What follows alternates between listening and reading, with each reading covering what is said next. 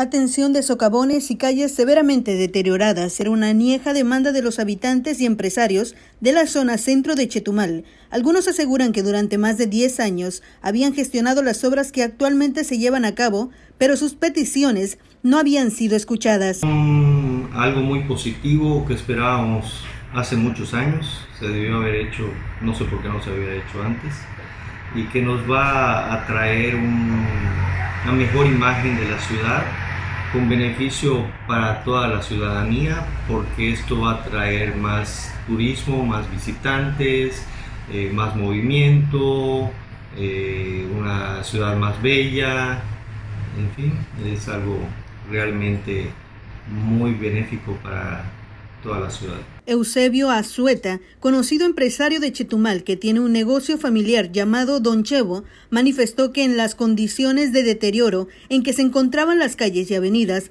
representaban un riesgo para los vehículos que les transportaban la mercancía. Se repararon los socavones y eso había traído pues eh,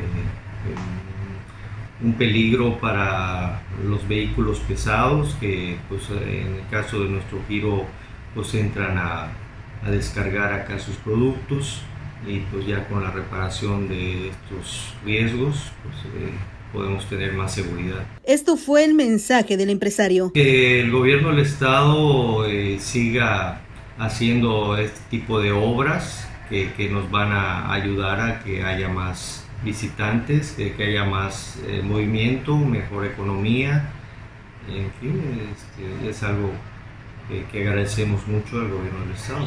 Para Notivisión, Rosy Dorado.